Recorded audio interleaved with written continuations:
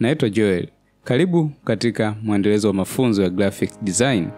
Leo tutajifunza namna gani ambavyo unaweza kuadd outline au stroke kwenye picha yako kwa kutumia Adobe Photoshop. Hatua ya kwanza, nitakuja kwenye file, nitasema open. Eh, kuna picha yangu iko kwenye desktop hapa. Nitasema open.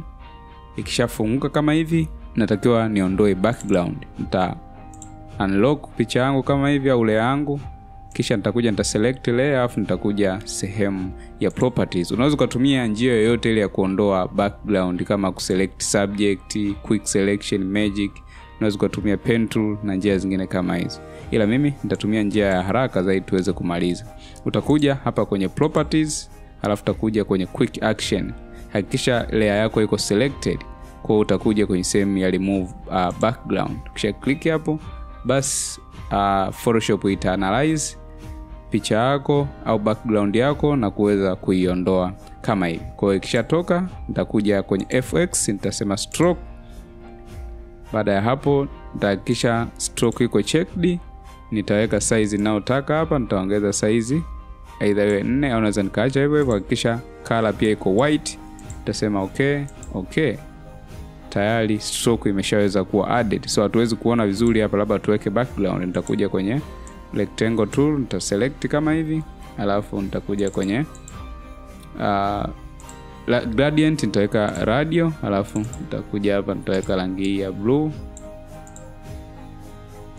na hii hapa katikati nitaweka blue ambayo inaenda kwenye white kidogo, ambayo imefifia.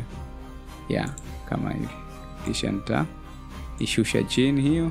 Kwa hiyo tayari unaweza ukaona shaweza kuadd stroke au outline kwenye picha yako kwa kutumia step chache sana.